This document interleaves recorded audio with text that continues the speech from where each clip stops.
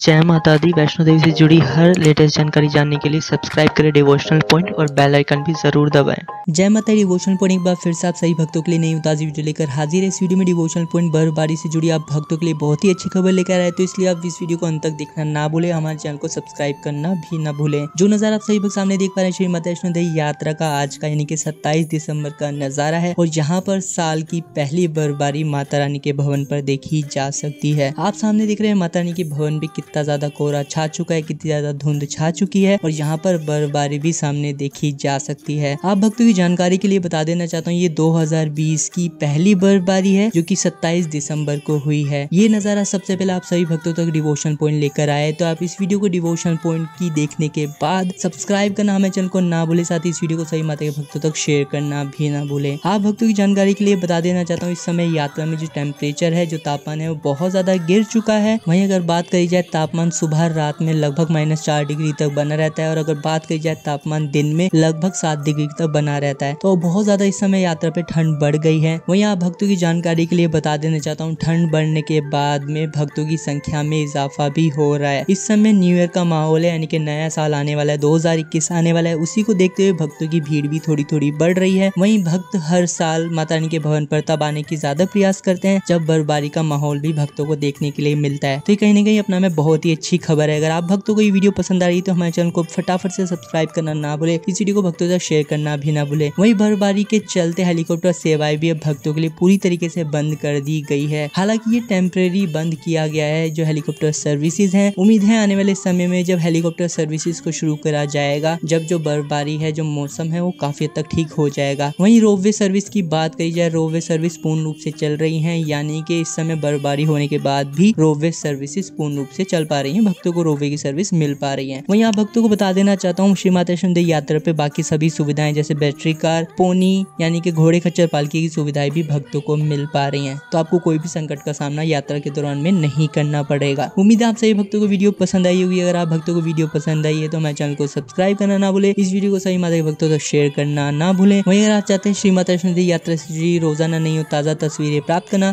तो आप हमें इंस्टाग्राम और फेसबुक पर भी फॉलो कर सकते हैं, जिसका लिंक आपको स्क्रीन पर और डिस्क्रिप्शन में भी मिल जाएगा। तो मिलते हैं अगली वीडियो में। तब तक के लिए जय माता दी।